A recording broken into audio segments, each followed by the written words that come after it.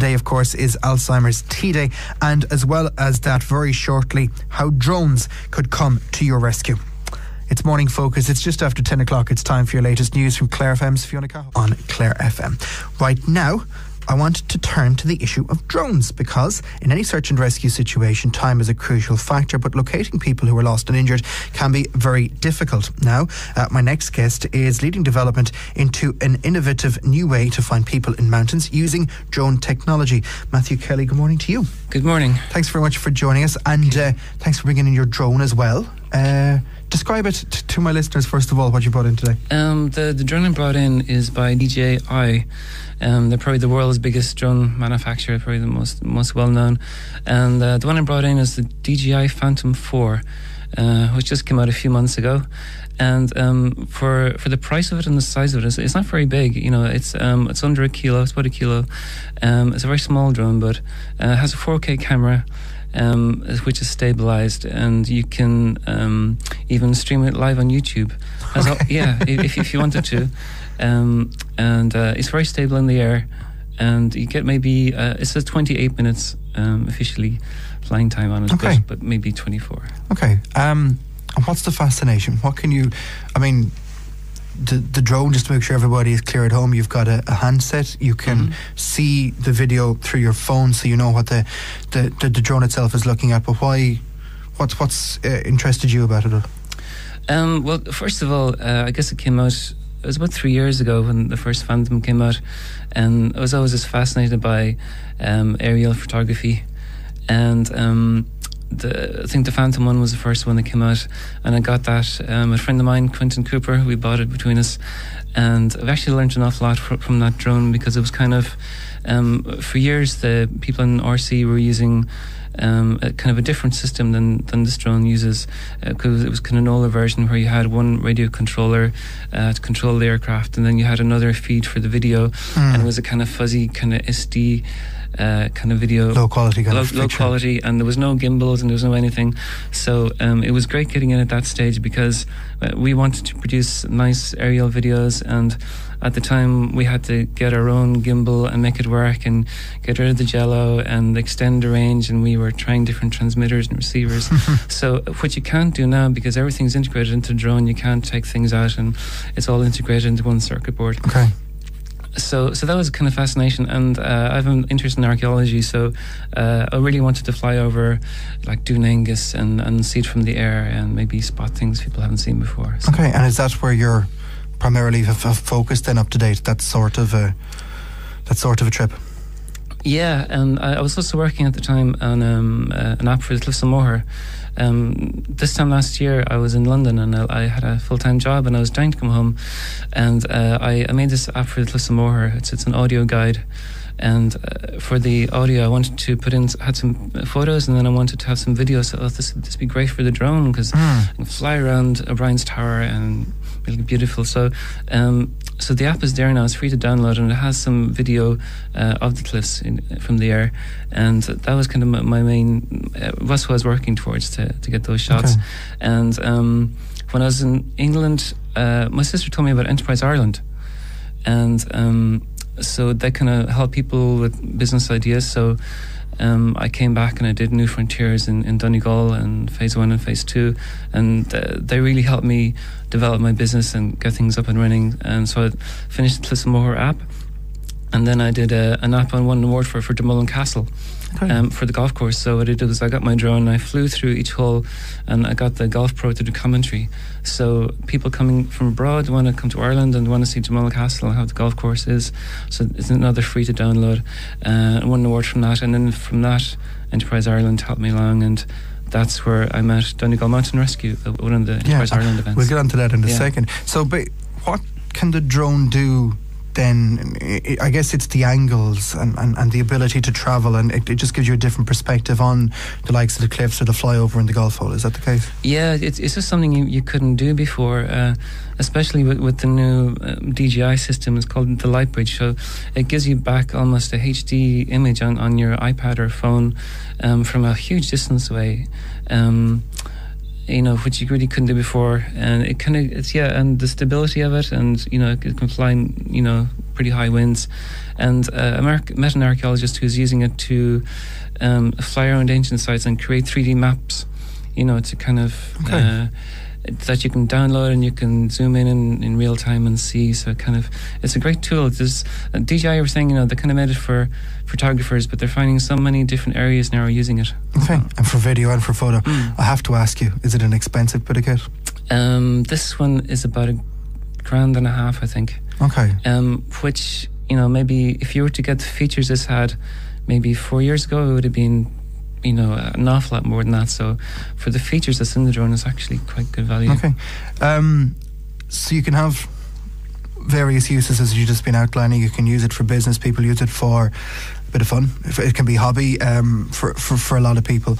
But you're looking to now use it in, in another new novel way, and in one where, where you're hoping to, to help rescue teams in particular. What have you done so far?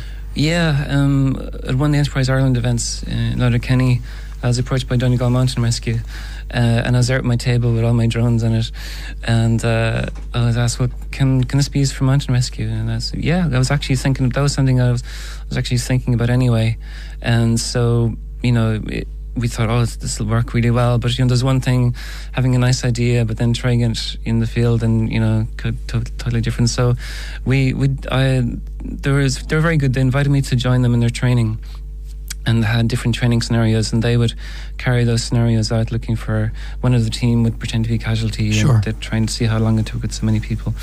And then we we repeated the same scenario with the drone and found it did it in a, one third the time. So we kind of looked at each other and went, right, you know, this is this isn't just a good idea. There's something here. Uh, so, so what it does is it kind of, uh, as well as you know, finding the person a bit faster, it also um, is good for the crew because you know they they're you know they, they, won't be out looking as long, so it keeps them out of harm's They'll way. They'll know exactly where the casualty is. Yeah. They can go straight there. And especially maybe on, on a cliff or something, it says someone going down the rope, you can send the drone down there to, to look around. So uh, for the people searching, it's good, and uh, hopefully for someone who's lost, helps find them a bit okay. faster. It all sounds common sense. Let's roll it out and do it everywhere. Yeah, well, um, that's what we're, we're trying to do.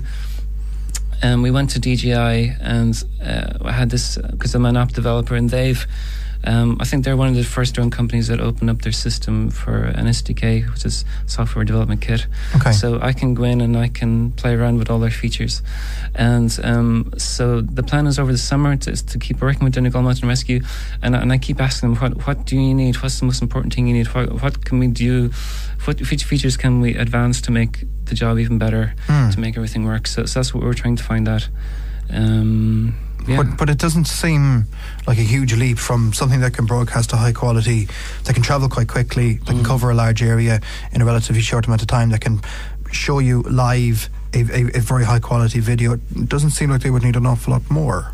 Um, well, it's flying in those conditions in the mountains is, is very difficult. Okay. Um, you know, I think you'll be talking to Oisín uh, soon. So, you know, to, to have a pilot, uh, you need training, and but to fly in mountainous conditions and search and rescue conditions, you're going to need advanced training to uh, you know, to fly first of all in those conditions, and then you'll, you'll need a special drone to fly in those conditions because uh, as good as this drone is, it won't fly in the rain, or if, if it's really windy, it won't fly in the wind. Okay. So that's another part um, that I'm working with Oisín is to create our own drone that will fly in those conditions. Oisín joins us on the line now. He's a commercial drone instructor and also an Air Corps pilot from uh, Spanish Point. I understand. it. Oisín, good morning to you, Oisín McGrath. Good morning. How are things? I'm very good, thank you.